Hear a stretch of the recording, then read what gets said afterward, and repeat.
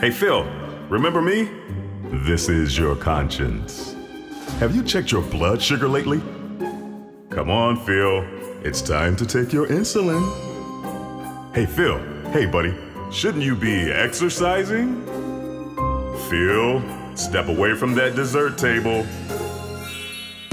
Let's face it, in reality, the only person who can manage my diabetes is me. It's why I enrolled in a diabetes self management education program. After a referral from my healthcare provider, I met with a dietitian and a nurse. They worked with me to create a plan that was custom made. It's how I learned to pay better attention to what I eat, how being active can lower my blood sugar, and how to take my diabetes medication so it works best for me.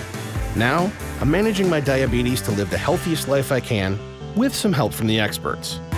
Learn more about the program at michigan.gov slash diabetes. A message from the Michigan Department of Health and Human Services.